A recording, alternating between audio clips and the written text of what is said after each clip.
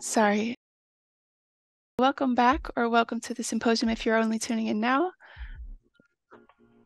My name is Ellen and I also work for the program uh, and I will be your Master of Ceremonies for the second session, which is about to begin. Uh, in this session, we will reflect on the struggles of sustaining project impacts beyond project timelines. Uh, so a bit of housekeeping before we begin. During the presentations, please feel free to express yourself in the chat and to share insights with each other. However, if you have questions for the speakers, then please place them in the Q&A feature of Zoom, located in the toolbar, and mention the name of the speaker. Um, feel free to also ask your questions in French. We will translate these to the panelists. Um, luckily, we're not up to my French translation skills, so we have French translators on the scene. Um, and then after all the presentations are over, we will use the remaining time for discussion. During this period, you can also use the raise hand feature to ask your questions or to share reflections. Uh, we will then also address questions from the Q&A box, so please feel free to submit your questions there if you prefer. Uh, we will also be keeping the time for the presenters. So after eight minutes, you will hear a ring or a little bell, which indicates that you still have two minutes left to speak. And then um, we will ring a bell again for a total of 10 minutes. So let's begin our session, our second session called Sustainability of Impact. Uh, I would like to introduce first the moderator as well as the rapporteur. So firstly, I would like to introduce Micha Werner, which is the moderator for this session. Uh, Micha's research interests are the application of hydrological knowledge, data and models in operational water management, with a focus on hydrological extremes such as droughts and floods, but also on water allocation and reservoir operation. With an interest in, in interdisciplinary research, he formerly worked at Deltares as a senior hydrologist. He is an active member of the scientific community as part of several research groups and serves as editor to the Hydrology and Earth Systems Sciences Journal. Then our rapporteur is Lapo Magole, uh, Dr. Magole is a senior lecturer at the University of Botswana's Department of Architecture and Planning.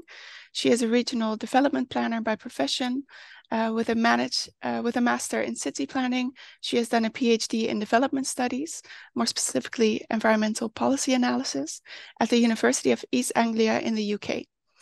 Her research focuses on natural resource governance, in particular the management of uh, land and water commons. She also works on adaptation and resilience of communities to climate variability and change. Dr. Magole is an environmental policy analyst and policy planning processes facilitator with a vast experience in stakeholder engagement and strategy planning, as well as fa facilitating mediations, negotiations, conflict resolution, and empowerment. So we are very honored for your support during this session. So thank you very much and uh, we are excited to see what's to come. So I'll gladly hand over the floor to Micha. Thank you so much, Ellen, and um, good uh, good afternoon, good morning, good evening to all, and welcome to this session on sustainability of impact. And I think this is a particularly exciting discussion. I'm, I'm sure, as you all agree, as I think most of us who are gathered here that we're involved in, in you know, that Micha, some, we yes? cannot hear you. Oh, that is a problem. I'm sorry. Just check. Oh. Um, can hear you well. Yes, yes, we hear Jeltje, you. It may be yourself, Jeltje. Thank you. sorry. Maybe if someone could be so good as to send Jeltje an email that it may be on her side uh, or a message. Thank you. So I did. I'll continue. I think we, you know, I think all of us gathered here are very, you know, passionate about the work that we do and, and how we contribute to facing, you know, the, the, the challenges that climate variability and limited resources pose and, and, and working on trying to improve people's livelihoods, particularly of the most um, vulnerable. So we, you know, really passionate about achieving impacts on the ground. But at the same time, we know that really achieving impacts is, is very challenging. And in particular, um, achieving impacts that are sustainable. And um, and I'm sure that you know in our work we've all had successes and and um, and but also need to acknowledge that there's some things that yeah have may may not have worked quite as well as we as we had hoped and uh, they would um, um, when we started out. And, um, and there may be all sorts of barriers to, uh, to achieving um, impact sustainably, you know, be they financial, be they capacity issues, institutional, things that are maybe completely out of our control, such as, or could be out of our control, such as politically, but may also be, you know, how we actually design and implement projects and, um, and how we build truly lasting partnerships, which I think is very much you know, something that we, we're trying to do here. And so I'm really excited to be moderating this session with three uh, great speakers. And I'm also very excited to uh, be doing this together with uh, Dr. Lapologang Magole from, uh, from the University of Botswana. So Lapo, I thought it'd be really nice uh, if you would also maybe would like to add a few words on your thoughts to this. See you coming on. Good very afternoon, much. Lapo. Greetings all. Um, it's evening here and uh, greetings uh, in all your times um, of the world times that are different. Um, yes, my name is Lapo Magole, and uh, I'll be um, rapporteuring this session. And uh, I'm just excited that we've come to this point because I would just simply say, indeed, about time. Um, and I like uh, the other caption that is within the, title of this uh, session. It is uh, sustainability of impacts, but it says reporting, uh, no, beyond reporting impacts, because really reporting can be quite superficial. We all know. We all know that we can you know, have our log frames, plan to do things, and then tick boxes thereafter. But then we are having a good and timely conversation about the impact. Did we tick boxes because we just did things, or did we tick box because indeed there was a lasting impact to what we implemented? So I'm excited to hear from the speakers, and I believe that we will all learn from each other because I know that we have a common interest in lasting impact. Um, thank you. Thanks so much, Lapo. I'm looking forward to hearing more of your reflections later. So with that, I'd like to introduce the first speaker of the session, the first of three, Dr. Klaas Swart. Um, he is an associate professor here at, uh, um, at IHE Delft uh, in urban water governance and in the Department of Water Governance also. And uh, his main expertise is, uh, or his main concerns are on water services governance, um, public water utilities and reform, and informal water services provision. So Klaas, the floor is yours for the next 10 minutes. Thank you very much, uh, Micha. Um, let me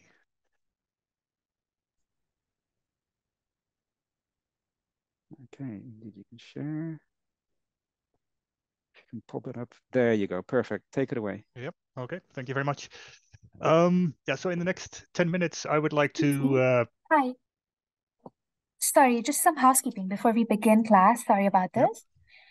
Yep. Um, is anybody else in the audience having issues with hearing the French translation? Those who are French speakers?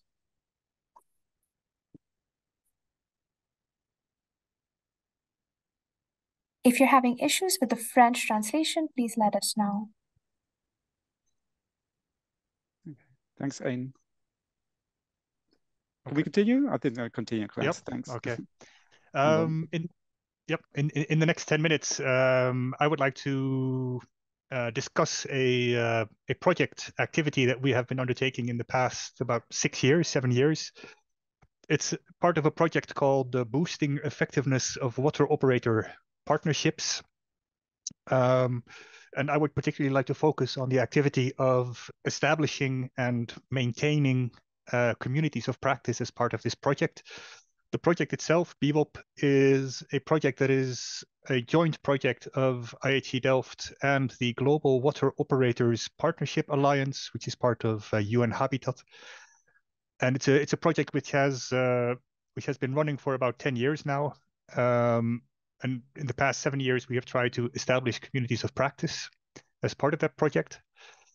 Um, maybe as an introduction, uh, water operator partnerships are defined as being solidarity-based peer support exchanges between two or more water operators on a non-for-profit basis aimed at strengthening capacity and enhancing performance.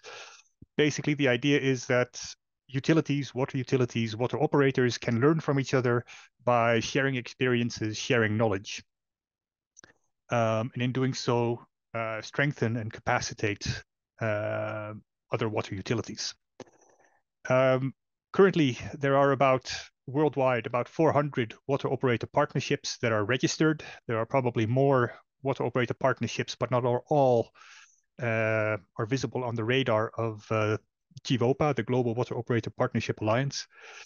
So we have 400 partnerships, and at the same time, a lot of these water utilities they face similar challenges, similar issues, and also within these partnerships, a lot of the challenges and issues that occur or that need to be dealt with within these partnerships are actually quite similar.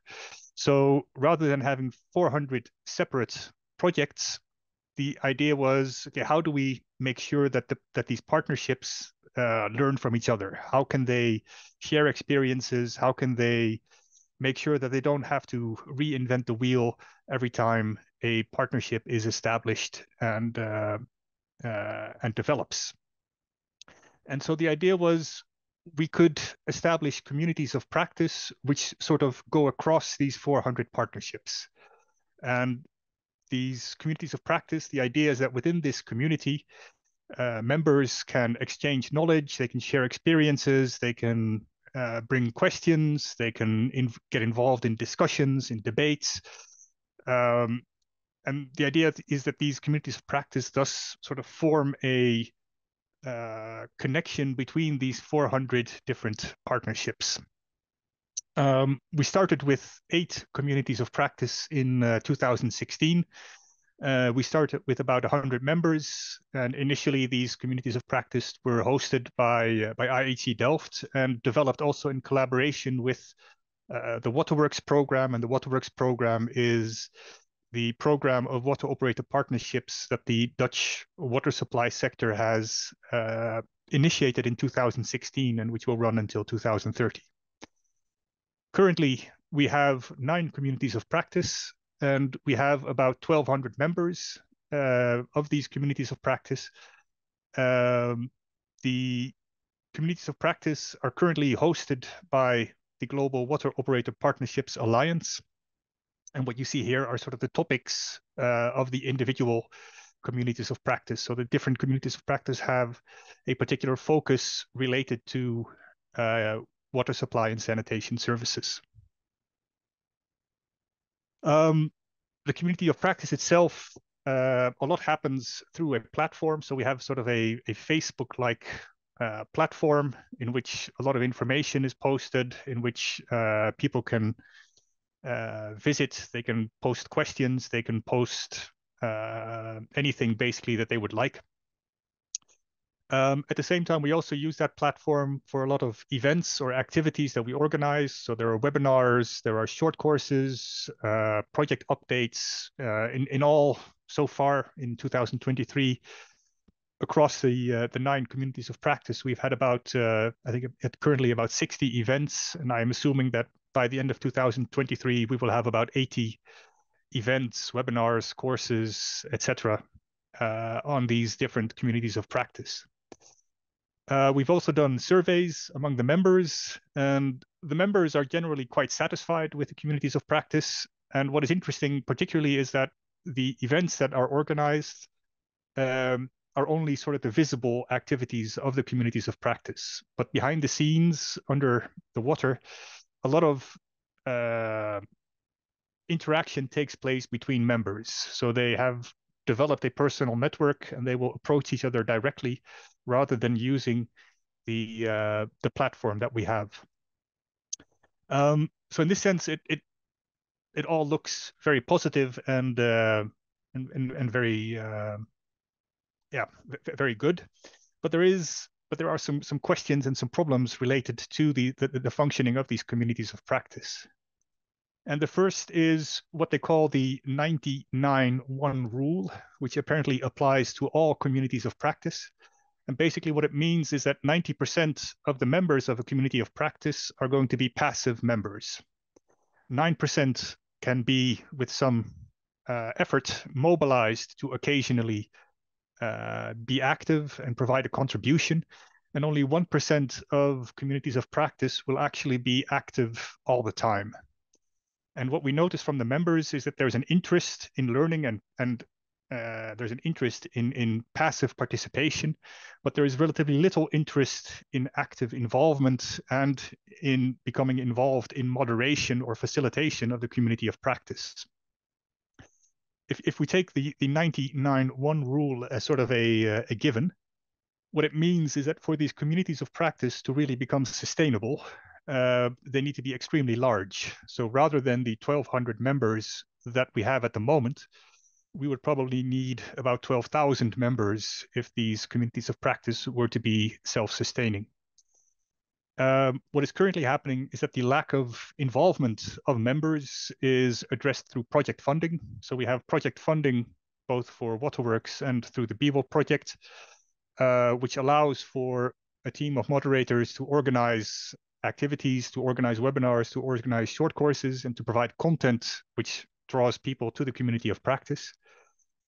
Um, but it's all currently, or all a large part, a large part of it is uh, is, is funded by uh, by external projects.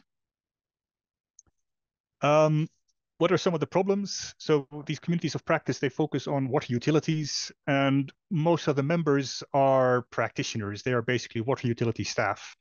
And what utility staff in most countries do not necessarily come to the office and switch on computers. They will come to the office and start working on operation, maintenance, etc. So the community of practice for them to actually engage with it is is an activity that actually takes a bit of effort, uh, which is a bit beyond their normal uh, work, uh, the, the, the normal work practices that they have. Um, also, if in, in, in many water utilities, uh, a lot of employees go from crisis to crisis. Uh, and that means that time is scarce. Um, and when the workload is high, then the, you know what what a what a staff member, what an employee will do is they will concentrate on their core activities. Knowledge exchange, sharing experiences are not core activities, and that means that contributions to a community of practice are going to be relatively neglected. Also, members prefer regional clustering. Uh, so, for example, the members in Latin America would prefer to have a Spanish COP, but that also means that these regional COPs are going to be relatively small, and then you have challenges relating to the 99-1 rule. Um, and so what is happening at the moment is we have a community of practice. We have nine communities of practice, which uh, have 1,200 members, which is having an impact. But Waterworks has indicated that they will stop moderation and support of these uh, communities of practice in 2024. The BWOP project ends in 2025. And that means there will be no support for, no external support for these communities of practice. And then the question is what happens with these communities of practice after 2024, 2025? Uh, we've had discussions about how to about the future of these communities of practice. On the one hand, there is this agreement that you know they they are important tools for utility staff to exchange knowledge, to gain knowledge, to share knowledge. But at the same time, they are they don't seem to be sustainable by themselves. As, as one of the participants during the discussion mentioned, the history of the WASH sector is littered with failed communities of practitioners. And as things are now, it is likely that these communities of practice will probably join this group of failed communities of practitioners after 2025. Um, so it's very difficult for these communities of practice to become self-sustaining, and it's very difficult to sustain these communities of practice. And it's given the, the current uh, uh, structure of these COPs with 1,200 members, it is unlikely that they will be sustainable after 2025. And I think the main question I have is if that is a problem. I mean, is it these communities of practice because they have an impact? Perhaps you know it's not so bad that with external funding being required over a longer period of time, this impact can be guaranteed. Sorry, thank you. I am involved in a DUPC3 project with the beautiful name Smallholder Farming Families Adapt African Alluvial Aquifers to Strengthen Their Own Resilience. But that only started a few months ago, but the predecessor was called A4 Labs. And that is what I would like to talk about. did A4 Labs have impact? And I speak on behalf of uh, many of our partners, which I will, at the end of my presentation, will mention. So this is the outline of my presentation, which I don't want to dwell on. This is a typical view of a sand river. And it occurs in very dry areas, and this is perhaps six months after the last rains. And you can see that there is riparian vegetation, which is green, meaning have access to water. Where do they get the water from? That's not so very complex because oftentimes the water is very shallow underneath of the sand, as you can show, as you can see on this slide. Nice, isn't it? And they occur perhaps on 15% of the land area of sub-Saharan Africa. So it is significant. But they occur in areas that are often considered marginal to socioeconomic development. And this is partly due because of the water scarcity they experience. Now, A4 Labs was, has been working in three regions where sand rivers occur, in Ethiopia, Tigray, in uh, Zimbabwe in Matabeleland South, and in uh, Mozambique in the Gaza province. And the A4 Store project adds three other partners that I will mention perhaps later. But what is perhaps interesting is that the presentation of Violet Matiru yesterday on the Athi River in Kenya also mentioned the Makueni and Kajiado areas and where beautiful sand rivers occur. And the problems are, are very specific there that uh, we can mention later. So A4 Labs started in 2016-17 and ended in 2022. Um, it aimed to promote the use of water stored in sand rivers by resource-poor smallholder farmers for irrigation in order to enhance their resilience in Ethiopia, Mozambique, and Zimbabwe. And we wanted to do this also with action research together with farmers. And this is uh, the concept that we developed with our partners. So this is the typical sand river. And by drilling a small well point, either inside the riverbed or next to the riverbed, if the, the underground here is connected to the sand river, and a small solar pump, and then farmers can start to irrigate. What is important to realize is that for this option, you do not have to build an irrigation canal or an irrigation reservoir because the reservoir and the canal is already given by nature.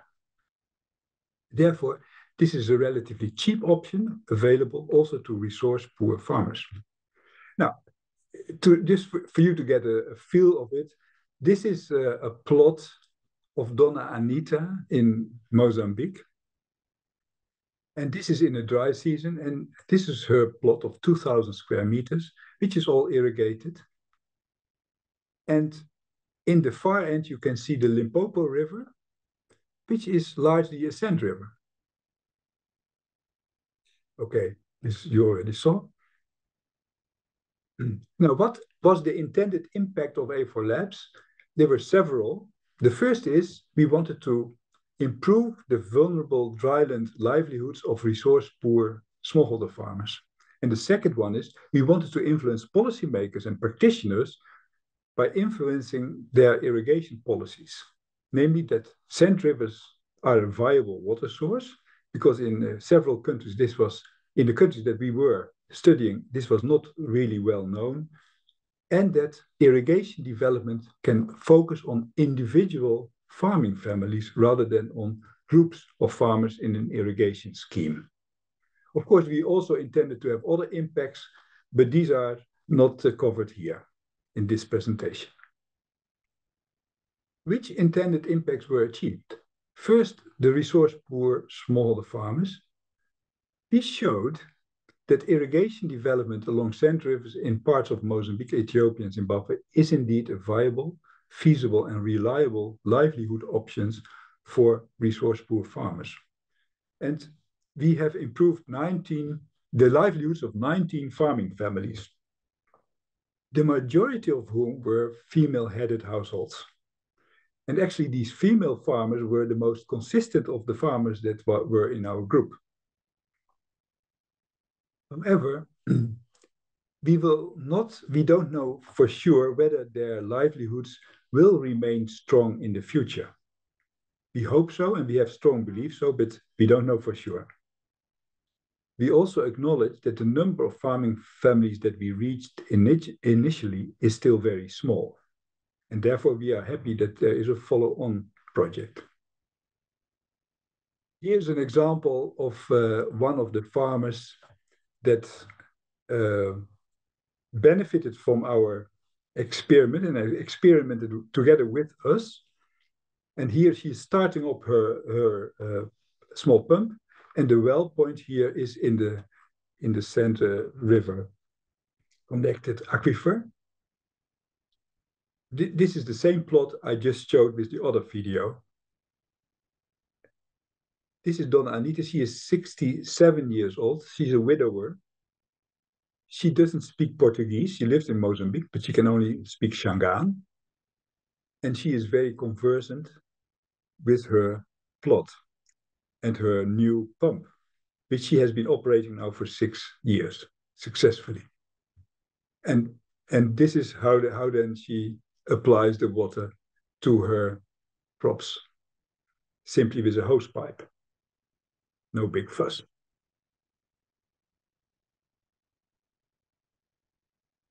So what were the impacts that we had with policymakers and practitioners? That was a bit more challenging. We wanted to enrich the irrigation development portfolio in these three countries with new design options for sand rivers. To be honest, our achievements were modest and mainly focused in one of the three countries. And this can be made visible, it's concrete in, a, in for instance, the mention of sand rivers in a new policy maker, sorry, a policy paper that they produced. What was also very interesting was that our activities came to be known by the Limpopo Watercourse Commission. And this is a, the commission that, that is in charge of the transboundary Limpo, Limpopo Basin, which comprises Botswana, uh, South Africa, Mozambique, and uh, Zimbabwe. And of course, these watercourse commissions tend to focus on the big things like building big dams and all that stuff. And we could show that irrigation development is possible without needing to build dams, even in relatively semi-arid to arid environments. We also convened special sessions at several regional conferences, which then promoted our ideas. And uh, our and we, we developed a new concept, adaptive investment pathways, but this concept has not yet received significant buy-in. There was also an impact that we were not achieving. We had hoped and actually planned to especially target young farmers because we thought the young farmers will be ambitious to engage in this new project. But to our surprise, it proved difficult to engage them. The Sand River option that we pursued requires a full-time commitment in the field.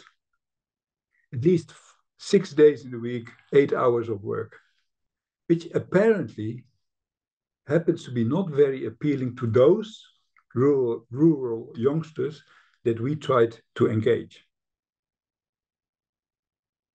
Were there unintended impacts? Yes.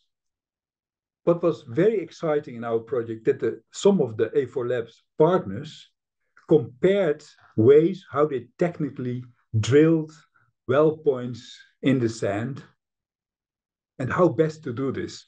And this yielded actually a new best practice. And the comparison, the comparative analysis between Mozambican and Zimbabwean and Dutch technologists proved to be very interesting. And another unintended impact was that the, in the Tigray post-Civil War restoration program for rebuilding irrigation, now the solar pumps that we introduced in Tigray have become a standard solution.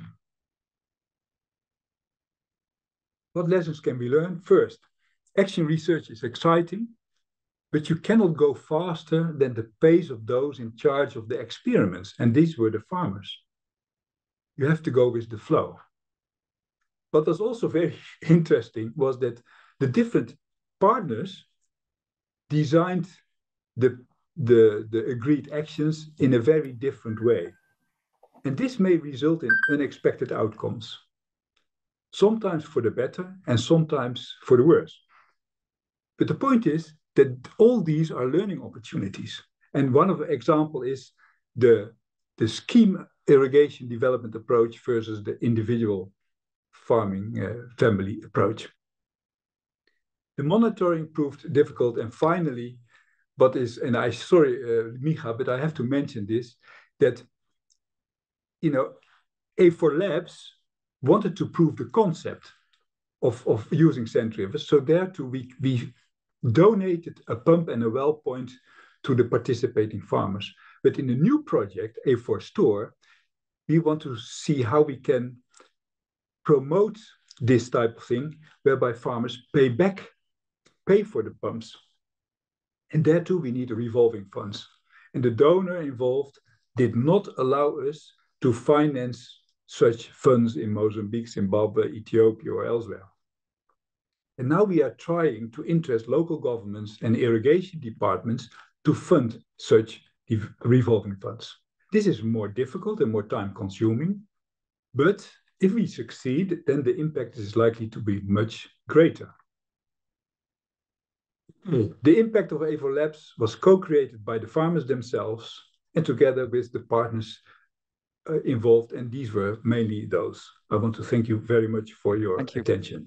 Thank you, Peter, and I'm sure uh, very interesting. Oh. I'm sure some of those points you raised there also on the structure of projects and uh, uh, something that will will enter in our discussion in uh, yeah. in, the, in, the, in, in the panel discussion.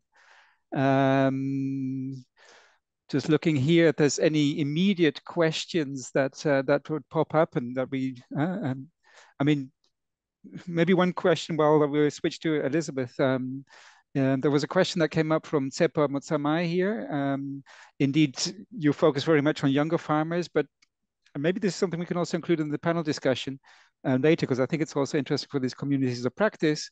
But how did that engage with farmers that are, you know, older farmers, or, you know, so did you, you know, so, does it engage people across the board, if you like? Now that was the the, the amazing part that the the elderly farmers were the ones who who easily adopted the new technologies and and worked on it. So and it was their hmm. stamina actually, their motivation, where they used to perhaps irrigate by hands. You can imagine, or or or not at all. And they were so amazed by the water they could get with this small pump that they were, were happy to work and, and they didn't mind to, to spend six days a week in the field. So but but mm-hmm. we have to find ways also to engage the new generation i think Right. I think that's an interesting. But, but, I don't know how this how we should be doing this. Help us. I would okay. say to yeah. Everybody get thinking. Yeah. Because with that, I'd like to move on indeed and uh, very warm welcome to Elizabeth Lictevout. And um, Elizabeth is the director of IGRAC, um, which I don't know the exact acronym, but it's the Groundwater Research Institute, and I'm sure she'll say the acronym of uh, of the UN. Um, it's Category Two Institute. And uh, I think it's exciting because I think Elizabeth comes from a slightly different perspective into this discussion, which I think is really interesting. She's a hydrologist, hydrogeologist, um, with a broad experience in Latin America, Middle East, Southeast Asia. And the interests are obviously research in groundwater, but particularly so in arid and semi-arid environments, groundwater-dependent ecosystems, um, the management of groundwater, and um, but also looking at that from yeah local heritage and, and local and ancestral knowledge perspective. So excited to hear from you, Elizabeth. Take it away. Uh, you thank you very much. Um, yes, let me uh, share. Oh, I don't know why. I cannot share. Uh, before I add, but now, yes. Oh, here it comes. Yeah. Um, Thank you. Thank you, Micha. Perfect. Um, So, um, so yes, as you said, I will uh, uh, not present uh, any uh, uh, the, uh, any project, um, but um, I will present the reflections at organization level, and this organization is is IGRAC, and you see it. It's a it, it's a long name, International Groundwater Resources Assessment Center. Um, uh, so I have really a few slides uh, and, and I will present uh, the reflection, not only mine, but also the team about impact at the level of our organization and the sustainability of impact. Um, yes. Uh,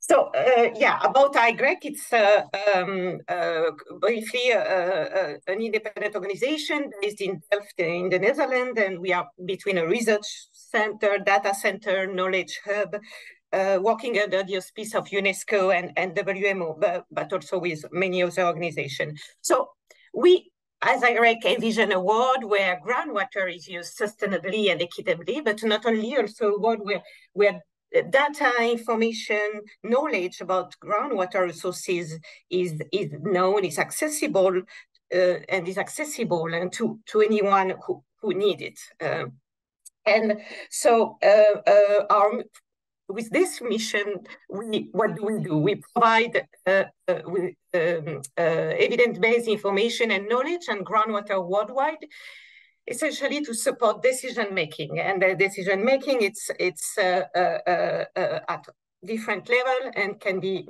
mainly high level to UN uh, agencies, but also at national level and uh, uh, hopefully going down to the users.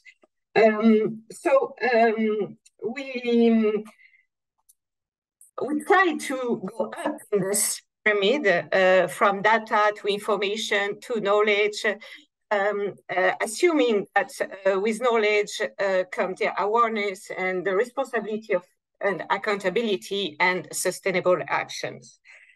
Um, but yes, with a so ambitious um, uh, mission and vision, uh, for a small team, a small organization of uh, five, six person uh, in the Netherlands. So we are here in house partner of, of IHE. Uh, uh, obviously, there is a lot of questions. Um, what, what, and, and IGRAC is 20 years this year, so it's a good moment also to, to, to, to reflect. And what, so what are the impact of, of our work? Eh? And, and does our work has an impact. And and if there is an impact uh, if is it positive is it sustained so and and when then what are the drivers behind? So so yeah i think that uh, uh, we, we all development workers researchers we inherently assume that that we, we do have an impact but uh, it is uh, often uh, an assumption. So so starting to review the different activities projects products tools developed by IGRAC uh, during those 20 years, we found out that, and, and I'm sorry because uh, uh, unfortunately, we uh, I cannot show any quantitative assessment of that, and uh, but I hope that uh, that it will be possible soon. so it's it's a really a qualitative assessment. So we, we saw that many activities implemented at at barely maybe merely a, a, a punctual impact, if any, uh, and with, when I speak about activities, well, many uh, workshop uh, or, or support that we can give uh, to, to, to, to stakeholders, to countries uh, through different ways. Um, um, uh, so, and hardly have any impact beyond the activities and also many tools then that uh, uh, we have developed, uh, for example, a platform eh, for sharing information, data, uh, or guidelines to, to implement or to, to, to produce information and to analyze data. So many of those tools are often not used after the, the end of the of the project. So and the causes are, are multiple eh? uh, when uh, st starting to try uh, trying to, to find out uh, um, so yeah so there is question like do, do, does this workshop was was responding to the needs and the needs comes first of course uh, uh, of the participants and and does the methodology used was adequate and does the tool developed is responding also to, to a need of the users is, is does the tool present a, a, a lasting benefit for, for the users.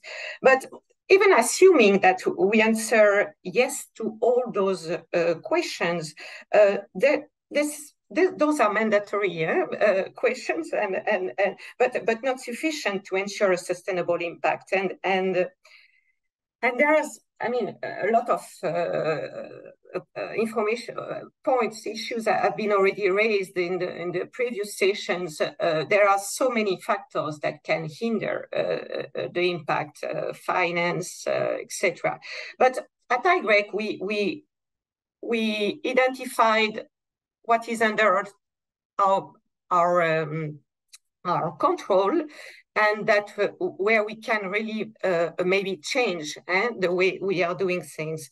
Um, so uh, firstly, we saw that any action project activity uh, uh, which is not integrated in in in in with in a strategy uh, uh, in the local context, in, in, in uh, or integrated with other activities, project, initiative in the context, have little chance to, to have a, a, a lasting impact.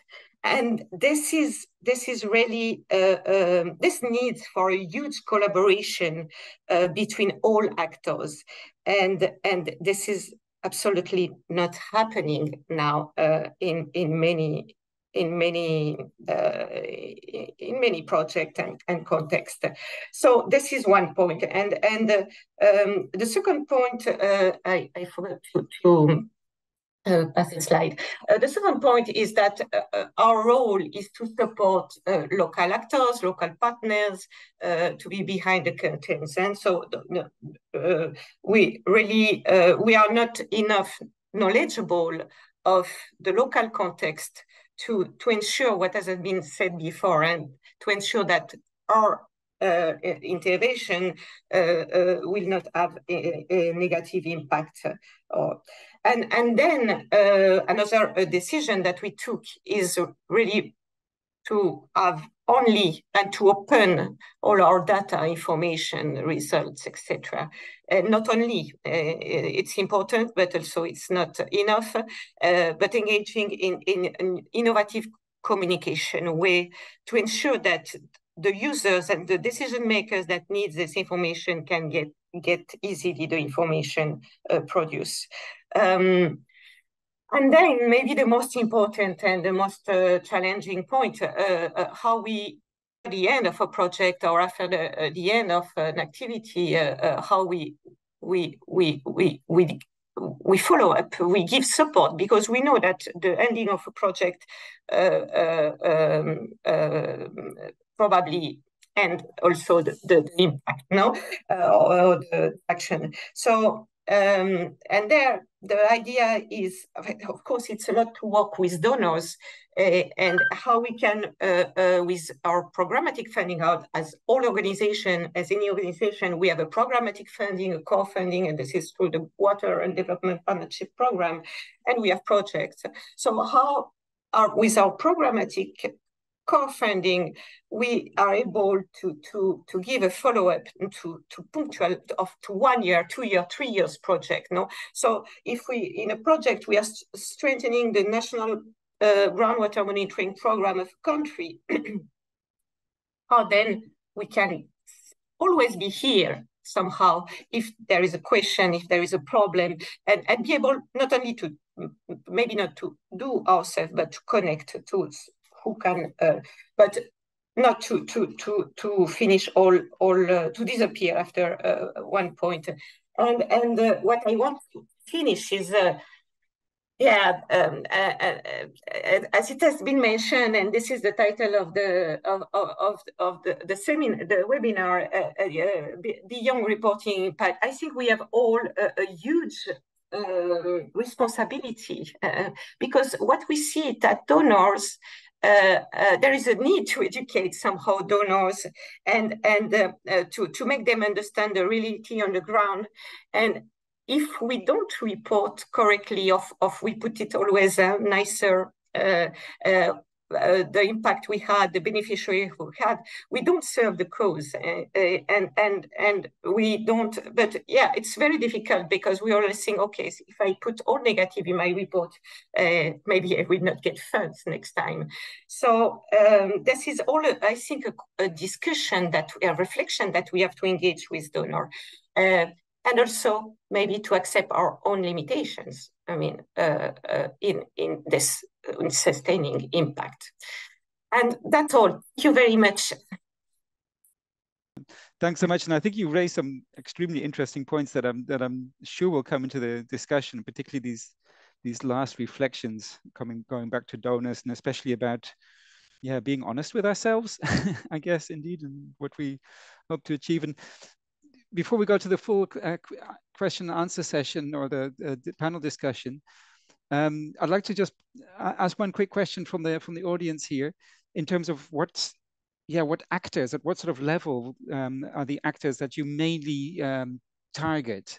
You know, they're more institutional at the community or local level, and um, and you know, so what what is your main sort of client, yeah. if you like? Yeah, yeah. that is a very good question. And eh? one year and a half that we're working on that. No, but uh, no, basically we we uh, mainly work at uh, international, so UN uh, uh, agencies and national level. Um, uh, that is our main institution.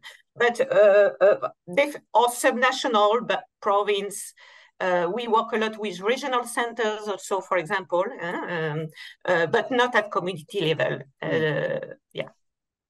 Okay, which I think is also a great thing. I think it's very important to, yeah. to know and also what mandates it, one has, I think, as an organization or what legitimacy one has as an organization. Exactly, yeah. To, to, to work with. Thanks. So thank you to, well, a great hand to, uh, to the three um, presenters for very interesting reflections, I think, on, on different perspectives. And we'd like now to, uh, yeah, to open a slightly wider discussion, maybe also cutting across the three, the three presentations. Um, and um, so I'd like also to invite folks to uh, you know put questions that they have in the in the in the question and answers session. And indeed, Peter, in great Klaas, if you can also come on and uh, throw on your camera, there you go. And we understand your challenge, Peter, but we know that you're there. um, I'd like to start, and it, it's an interesting question. I think um, you know it's it's it's maybe something that you touched on, Elizabeth, about going from project to more programmatic. Um, I think um, Peter touched on it at, to some degree of, you know, starting also going from what I call beyond the pilot phase. And in a sense, Klaas, you were also talking about this, that, okay, the establishing a community of practice, but okay, what happens next kind of thing. And um, so, yeah, I was kind of thinking maybe starting with you, Klaas, on that. So, you know, what lessons do sort of the implementers of community or practice take away from the implementation and how they carry that into their organizations? Because I guess what you mentioned that, okay, um, you know, when the people that say they're doing it outside what they normally do, so they are you're sort of asking them to do something extra. But how how you know can it be maintained to be more meaningful? Um, you know, can you sort of translate the successes of the community of practice back into the service organization to maybe give it a space for people to make it more um, yeah so i mean what, what we notice with the communities of practice is that a lot of the the the, the real impact is is not seen it's, it's not mm. visible in the community of practice it's it's where one member contacts another member directly to because they're working on a similar issue a similar thing they ask directly for help uh, and, and, they communicate and they exchange knowledge. Um, but this is not visible in, in the community of practice as such. The community of practice is just sort of a in, in the end it's it's you know we we organize events mm-hmm. we allow for the personal networks of these utility staff members to develop and to get to know other people that may be working in a similar activity Um, so that, that that makes it a bit difficult. Um, and and I, I, I think I mean it, it, um, so I mean I, I work for IHE Delft and and we, we are a knowledge institute so we do knowledge management basically be it education or training or research. Um, but for a water utility employee, I mean knowledge management is sort of you know it's it's it's interesting and and you know it's, it's relevant, but it's not their direct activity, mm. and it just means that if uh, if there is a crisis work-wise or if there is something that needs to be done, these kinds of activities are the first to go. Right. And that makes it and and you know this is also because I get these these these questions, particularly with the communities of practice. You get these questions about how sustainable are they, and I, I you know th- th- they're not, and um, I I don't think that's a problem. I mean, if if you look at the impact that it has versus the costs of maintaining them, uh, be it externally funded, uh, I think they're still worthwhile. Hmm. That's for, that's interesting. I mean, I, I would agree, but I mean, it's indeed that that challenge of yeah, I mean, if, if you try to explain this to if you try to explain this to the Ministry of Foreign Affairs, yes. they're not very happy with that. Right. So I think that leads immediately to your question. I think that Elizabeth raised, but I'd also like to ask it to Peter because you also raised it, and so maybe I'll do it a, a double hop because it just came in also from from Jennifer Borong, um, both to Elizabeth and Peter. So, you know, the, the, sort of the donor's perspective, and I think I think that's also something that you just mentioned, actually, Klaas. Sort of, you know, the language that maybe the the donors speak and their perspectives. How does that really actually, you know, determine the project sustainability? And you know, should should we maybe trying to change those perspectives or work with donors in different perspectives in setting up projects. And then Peter, would you maybe comment on that, given what you exposed? Maybe. Yeah. Yes. Yeah, I think that, you know, problem in what we have for this, for supporting resource poor farmers who want to start irrigating from sand rivers, the support they need is very small. We we estimate it is between the 500 and the 1000 euros or so and they will be able to pay it even back. But it is for irrigation departments much easier to go to the world bank and get a 20 million dollar loan for a large for developing a large irrigation scheme hmm. which does a lot of harm and which will not be properly maintained than to give 20,000 people a loan of a thousand, which is also 20 million, and they will even pay it back. And that is the quagmire. That is the big issue that I am faced. And that is what I would like to discuss with the PGGM, with Piet Klop, and with all the banks and, and, and with the, the, the IFADs of this world, you know, the ADB, of how to solve that problem. Mm. Because the money is very little.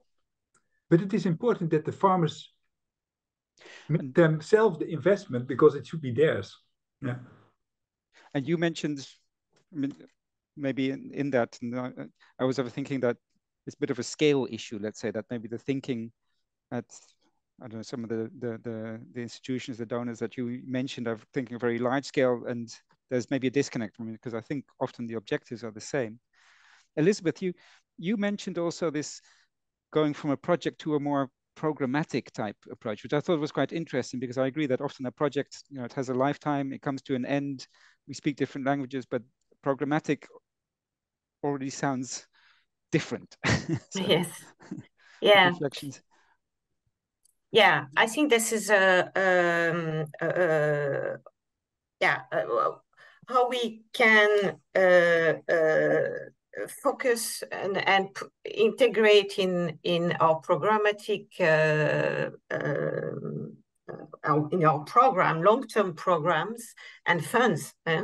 uh, uh, the follow-up of the project. That means that all should be ve very aligned and very focused and somehow uh, the project and the, the programs um, uh, but yeah, there is also really a, a, a need to to um, uh, uh, much more. I mean, regarding donors, uh, uh, uh, I mean, we have to, the, the reporting is very important. And, and often we, we do not measure impact on mm. on uh, uh, and sometimes because we cannot because the end of the project i mean you measure the impact from the end of the project so so uh, how we, we can uh, then uh, but i think there is a long-term uh, um, relationship with the donors and the discussion and conversation discussion that we have to to to to that we need to have and and and and to integrate always a follow-up uh, uh, um, yeah. So uh, it, it's not easy because of course uh, um, yeah. Yeah yeah. well i was thinking this follow-up uh, because i i think that's interesting and it, it often depends a little bit on on all sorts of you know in a sense also opportunities and you know that's i think that's that's the reality i think being realistic. Um to what degree, and I think that's, you know, maybe across setting up communities practice and maybe the A4 lab example, um, and of course iGRAC is more programmatic, but in let's say projects, do we give space to that? Let's say space to this question of sustainability of um, bring, perhaps bringing that in line indeed with, as you mentioned, Elizabeth, uh, with, you know, national plans or something. So it actually fits into what's already going on. And I think, Klaas, you you you also tipped on that. Is that something that we should spend more focus on, or what is the reflection there? Elizabeth, uh, go ahead. yeah, I mean, it's interesting.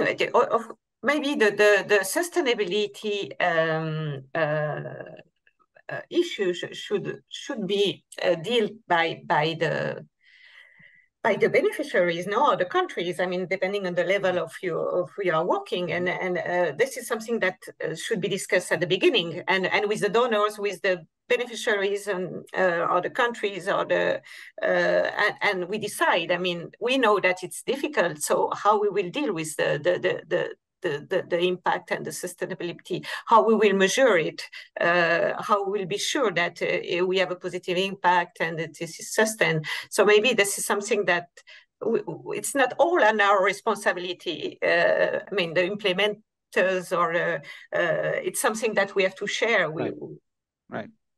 That's an interesting. Thank you. Um, I see indeed um, a hand has been raised by Anna Hammond. Um, apparently, I think you can't put something in the questions. Would, would you like to pop your question?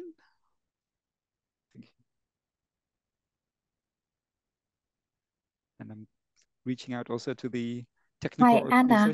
There, we, yeah. Thanks, you can now unmute your mic and ask your question if you would like to.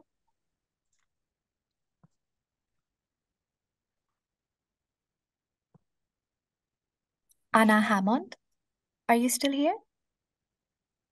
I do I do see her. Uh, sorry, um, I didn't raise my hand. That was a technical problem. Sorry. Ah, okay. Thanks. we weren't we weren't sure we were because your hand keep coming up, so we thought we'd give you space there. um, okay. So, sorry, that changed my flow now.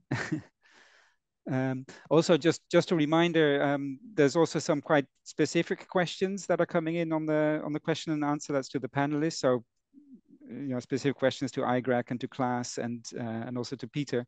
And you know, please take your time also afterwards to uh, to to respond to those. Um, let me see. Um, yeah, maybe coming back. Back to this this this question on on donor funding, and I'm, I'm coming back to you, Klaas, also, um, and maybe we can follow up with Peter also on let's say the the sustainability of of these um, let's say this approach that you that you're presenting on the on the sand rivers. Um, do you know about the Klaas about the existence of of of communities of practice that that are then not supported by donor funding? I mean, I'm sure that there are communities of practice that that exist and that flourish um, or, or maybe not, um, without that key component. And um, yeah, what what you know, what makes those work? What makes those tick? And maybe are they too much under the radar when we when we design, let's say, these community of practice initiatives as as you presented? Yeah, I mean, um, I mean, th there are I think most of the communities of practice, especially when they start up, they will need some kind of uh, I mean, not necessarily, perhaps not necessarily donor funding, but it could be some, it needs some kind of organization or institute needs to support uh, the community of practice. Um, the, and I think this is also quite interesting in terms of the comparison with, with, with Peter, is that, so the communities of practice and the knowledge exchange that they do within the water operator partnerships and, and the BEWOL project is not necessarily um, the, the immediate work that they do. And I think with Peter, with his mm. project, it's it's much the, the, the direct link with uh, mm. daily subsistence and daily activities is, is, is a bit stronger. In in the case of my communities of practice, um, you know, it, it's it's it, it it is almost for utility staff member. It makes more sense to reinvent the wheel mm. than it does to invest time in a community of practice. Although, if you would look at it, you know, at, at the end, ultimately, it's it's a lot more efficient and a lot more effective if you would invest time in a community of practice. But it's it's simply the incentives that a that a staff member has would prefer that or, or, or would would lead them to to reinvent the wheel rather than invest mm. in a mm. community of practice and that's a very difficult that, yeah. that's a very difficult um yeah thing to, to, to break yeah yeah peter would you want to re respond to that because then i think it's it's interesting link about what is the incentive of let's say you know indeed a farmer and, and living next to the limpopo river for example to engage with um, you know this approach um, what are your thoughts? Yeah my thoughts are a bit you know but but what is amazing in, in the experience that we have in, in a few countries is that the government departments are not aware of the scope of the water availability in sand rivers. They, they think that these were these are dry rivers. Mm -hmm. Although the local people, they still remember, and that this is really true. The big drought we had in Southern Africa was in 1992. It was a huge drought. It has not repeated itself, fortunately, yet. And we have several stories of people who says all the well dry, wells dried up except the water in the sand rivers. So uh, it, it is a fairly reliable resource, but Uh, still there are proposals, for instance, in the Limpopo to build a big dam in, in Mapai. And then I think, okay, God has already built the dam. It's a nature-based storage there. And let's first utilize that source before we, we, we, we develop large infrastructure and we engage donors. So we do not even have need much donors. What is ne needed is that it is cheap for smallholder farmers to borrow money. And that is very difficult because they need very little money, but the, it's very difficult to get cheap money. It's very expensive. If you are poor, you don't have the money, you have to borrow it. So the best is that you get it from your uncle or your brother or your sister. And that is perhaps the best uh, development option, if you think about it. Yeah, I was thinking also about about incentives. Let's say to yeah. I mean, I I, I can but totally. okay, and and we are working closely with the irrigation departments, and I know them very well because I've been trained yeah. in the same way as they have been trained, thinking in large schemes, in in in all the, those type of things and to have a farmer-led approach mm. is is alien to to to to the to the trade of irrigation and that's what we have to uh, to engage with i'm i'm i'm really sure about it so that's maybe i don't know working at that level which is also maybe the work that you know, the level that IGRAC works at huh? with, yeah. with as you say this institutions of because I mean that's also an incentive question, I guess. You know, that someone who's working at, at the more institutional level to yeah to consider that or to engage with that.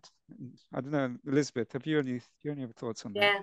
Yeah, and, and this is the challenge of groundwater. uh, it, uh, it's yeah, it's making more difficult because it's it's it's hidden um, and um, and and you cannot see the impact uh, uh, sometimes uh, decades or um, um uh, long long term. Um, so this is a bit challenge. So that's why I mentioned quickly, but um, but just as a reflection also, we really have to uh, um, uh, think about communication and how we communicate, how we engage with uh, this needed knowledge, um, uh, but not the way we have been doing it up to now. It does, doesn't work. Uh, so um, so yeah, uh, with stories, with uh, uh with, with, serious gaming, with uh, mm. even with institutions, huh? um, and this is done even in, in I mean in in Europe or in in in the in the Netherlands right. um, to, to to to to pass messages um, and yeah there is there is i think we this is where we need to be innovative. Right how to cross those. That's an interesting yes. i'd like to i see that there's a couple of questions also in the um in the um let's say in the hands raised. So um mohammed you rahman do you have a question that you would like to pose to the panelists? And um think we can give you permission to talk. Can I do that? Go, ahead, Mohammed.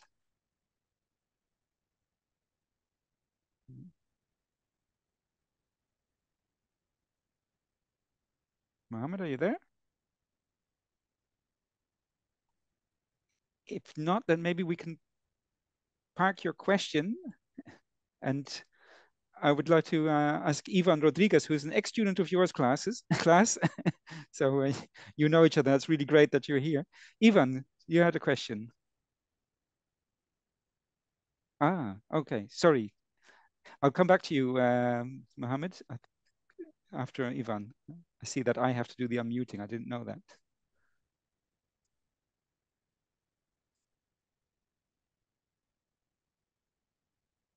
Think you both are unmuted. Ivan, could you uh, pop your question? I think uh, I see in the chat that you can unmute yourself. Ah, your mics may not be working.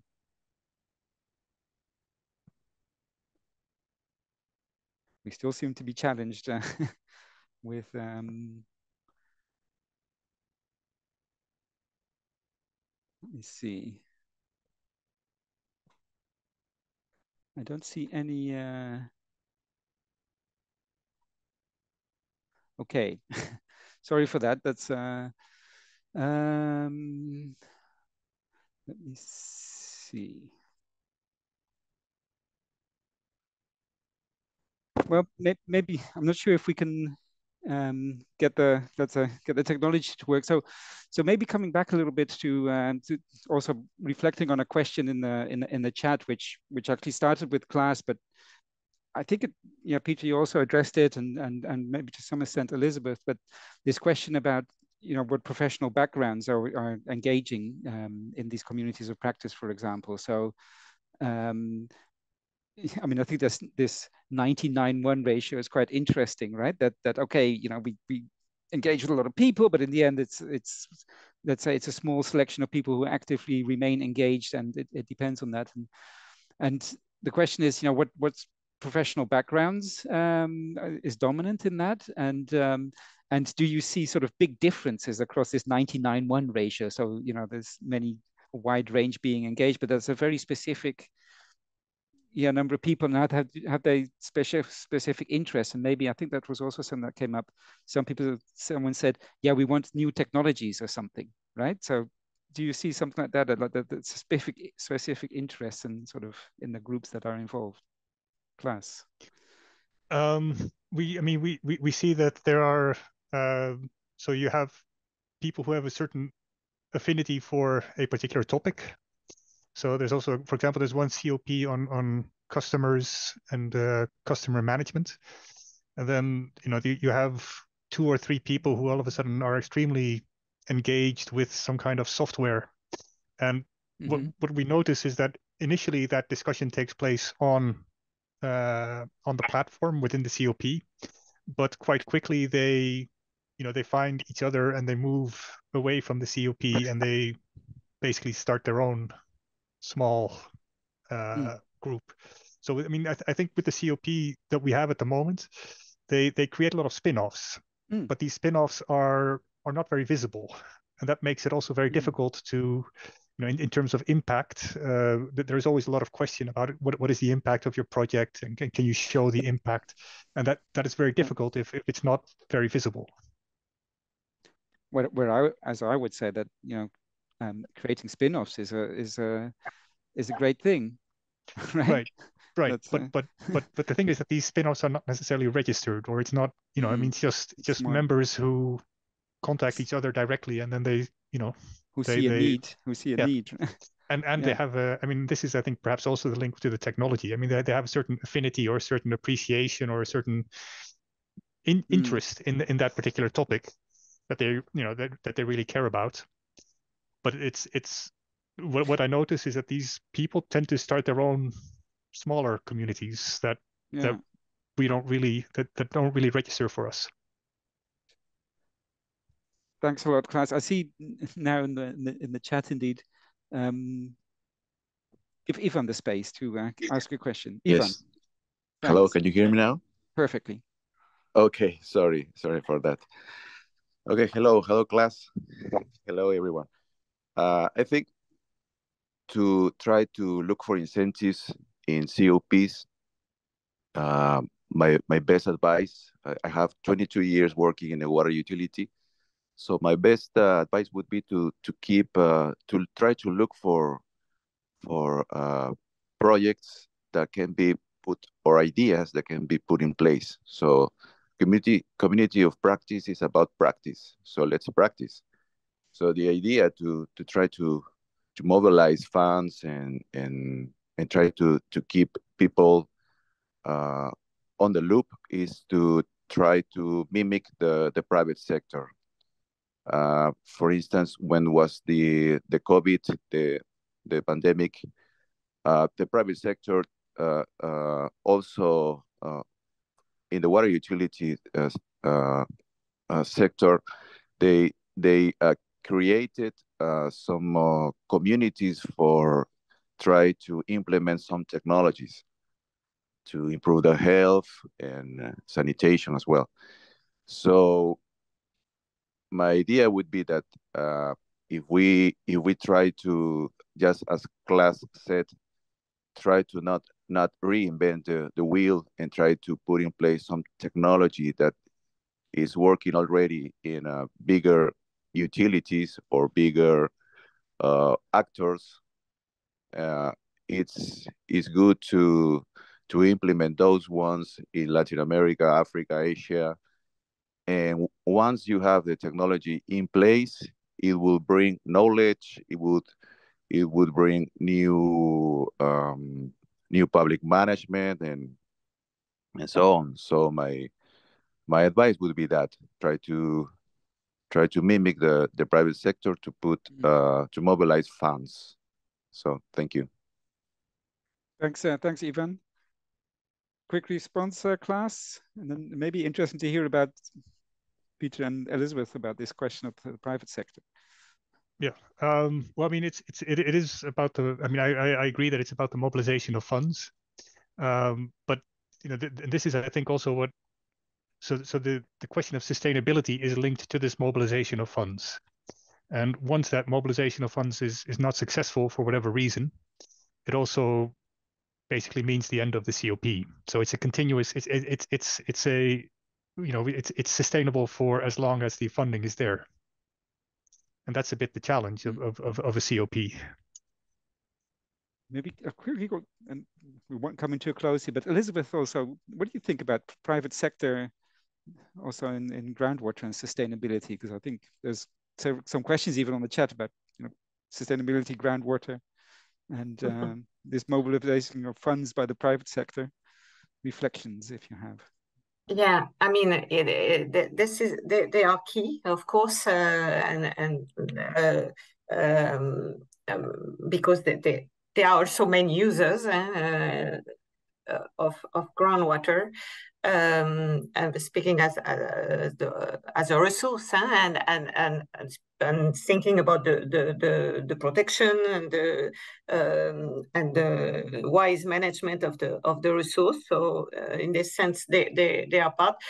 Um, yeah, so uh, we have a lot of discussion at IGRAC about uh, engaging, uh, of course, funds and uh, from the private sector, and which uh, could be uh, um, engaged. I mean, of course, this this this is a,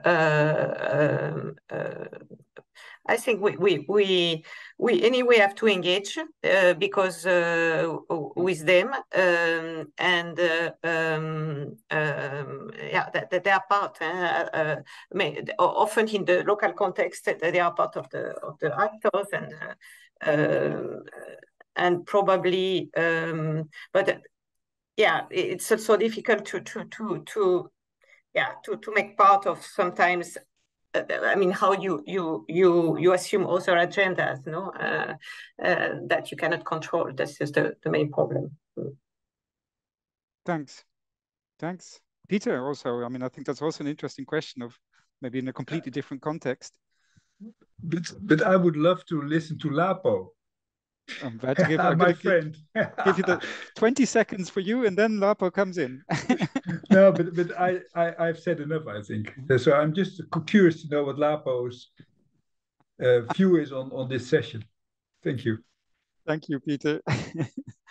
and uh, what else can I do now? But uh, indeed, because indeed we we're come to the close of the discussion. So thanks very much for that. And sorry that we had some technical challenge. And I'd like now to hand over to Lapo to give probably quite challenging reflections on uh, on on what uh, what has been heard. Thank you. Challenging. Um, good afternoon. My friends want to hear from me. Hi, Peter, and hi everybody. Um, yeah. Um, like I said in the beginning, I'm really excited for us to have this dialogue. I think it was just about time. Um, I started off um, thinking in a particular way, and I ended up uh, at, at, a completely different space altogether. Initially, I I thought, you know, we need to introspect and uh, think about why do donors and experts do what they do? Why do we engage uh, as development experts in these things? What exactly do we want out of this? And I was thinking that, are we sure we are abreast or quite confident of the capability and capacity of those who you want to impact to actually carry on the impact all the way into the future as we want impact sustainability. That is where I started.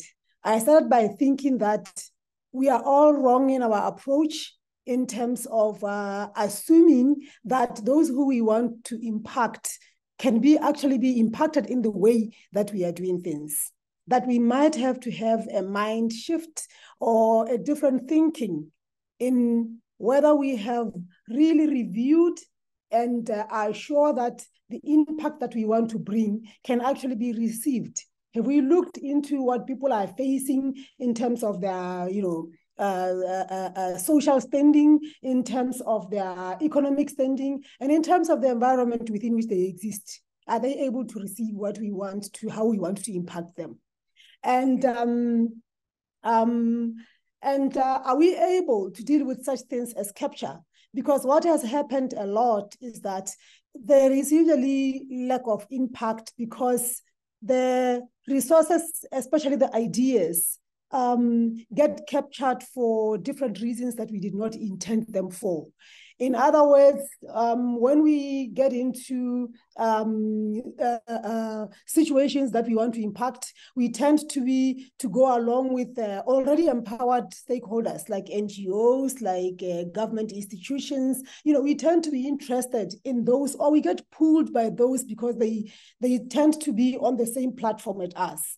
So in other words, I was saying maybe we need to step back and level the platform of engagement so that those who we really want to be impacted can be impacted. That's one.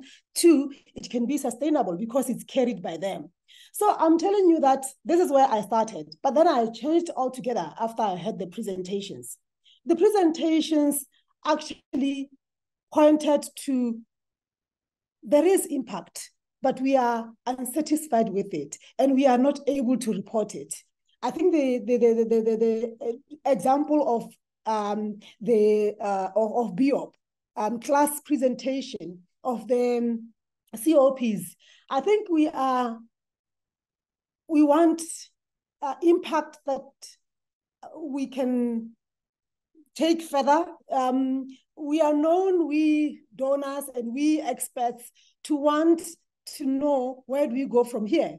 To want to, to, to by, by doing a particular project, we want to initiate the next project. And this is why we want to see impact that we can see either with our reading eyes or with our mind eyes. When uh, uh you, you present a Klaas, I found that the networking happens as intended. The intention here was to create a platform for interaction and networking and general communication by practitioners. The problem is they took it offline, off the main platform that was created. It remains impact, but we can't follow it. And the way donor funding works and the way we experts work is that we have to be able to trace it. That's not a, a bad thing, but the problem is when we think impact is actually not happening. So for me, I think there were spin-offs, although the spin-offs were not visible because they were outside the platform. Now, of course, there are expenditures in terms of expertise, in terms of technology, in terms of all the resources that are spent in creating the platform. So can we just create it for something that is for an invisible impact? That is very difficult for us. And that is where I say what to do because there is invisible impact. But you did say something that was very interesting. You said um, um, a lot of the people who were in the COP that was created with a big number of people, 12,000, I think, um, wanted preferred regional and small. I think really small is good. People feel comfortable and can participate better in small. Unfortunately, sometimes in our donor driven, we want to see big. We want big, we want visibility. So I dwelt a lot more on this because this uh, project was a big example of um, how I had changed my mind now to say, in fact, there is um, impact. We are just complaining that we can't see it. If we go on to the four labs, I believe that, you know, almost the same story. The only thing that I can bring out here that was uh, interesting um, and a little different from what happened here is um, the intended impact on the youth, where um, the project had a, a, hope that the, the sustainability of improvement of livelihoods could be carried over by the young people um, who would then uh, invest in this uh, thing. And also another thing that happened here that was uh, the issue was that the project felt that um, the impact on policymakers was insignificant. The policymakers were not interested in this thing. Luckily, uh, we, we, we have had a very good session in that the session kept answering each other. Then came in um, Elizabeth.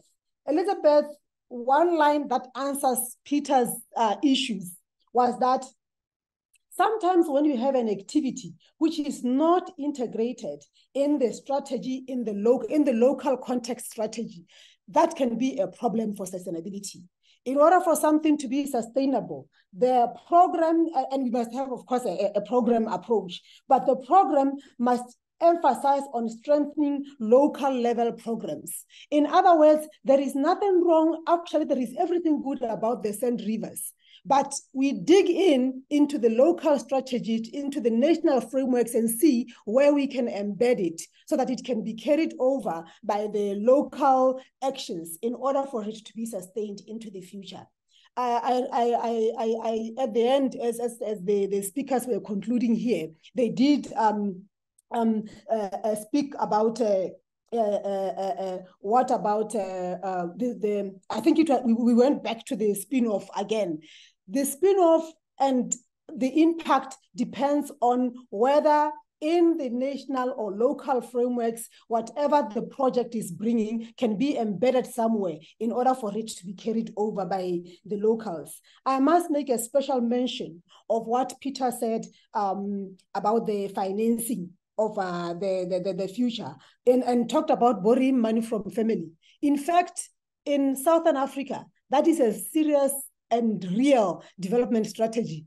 It's called Motshelo, meaning you pour into each other, where families come together and um, uh, contribute a bit of money for one of them to invest in something. And then the following, the next time there is a, a, a coming together, investing in one of the family members, so on and so on, doing a motshelo, pouring onto each other like that. In fact, I think where a small amount uh, is needed for investment where the big banks and uh, big donors would find it insignificant as we found that the invisible spin-offs were insignificant where it is like that they oh i'm told to that that is time up eh? where it is like that i think the pouring into each other can be a strategy to do. So sometimes these things have to be very local and home brewed in order for them to have impact that you can see. For me, that was my take from this uh, very beautiful project and uh, a very timely and necessary conversation that we had to have. Thank you very much.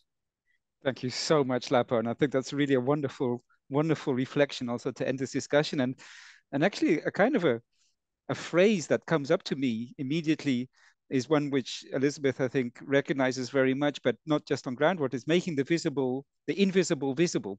So not just making groundwater visible, which is extremely challenging, but also making impacts which might happen through spin-offs and other small connections that may not be in the indicators that we, you know, making those visible and thinking about that visibility of impact is maybe uh, a nice yes, closing Mika, thought to this discussion. Uh, Mika, I just forgot one point where ah, go ahead, Lapo.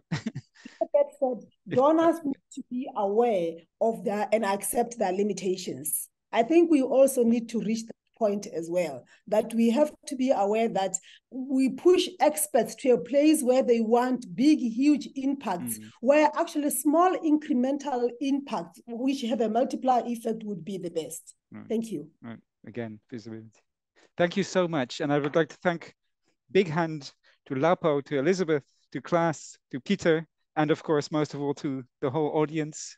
Um, that and thank you for the patience uh, for for for staying with us. If you have more questions, please do reach out to the presenters uh, through email. Um, and you know some of the questions have been answered. And sorry for not attending to all questions. Thanks so much to Ayn and Ellen and um, for doing the, the, the technical backstopping here. And um, with that, uh, I'll hand over. Thank you very much. Yes, thank you very much, Micha. Um, so you already thanked all of the panelists and the speakers and the attendees today, but we would also like to thank you. Um, so we would like to end the day or the session with thanking, yeah, the amazing moderator and rapporteur that we had for this insightful session. Uh, and to all of the speakers for enriching us by sharing work and experience uh, from the field.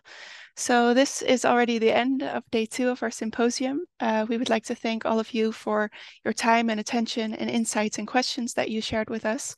Uh, so tomorrow we will begin the day again at 2 p.m. Uh, CET with what remains to be our most awaited session. Um, well, whereas this session was amazing as well, of course. Uh, so the panel is something that's happening tomorrow, which is a panel for sharing failures and learnings. So we thank you, first of all, for all of your patience as we experienced some technical failures uh, during this very session. And we hope to learn from it uh, for tomorrow's session. So we will leave it at this. Uh, we will leave the webinar open for five more minutes to allow you to complete your conversations, exchange contacts, and um, chat in the chat box. Uh, so we thank you again for joining and have a great evening.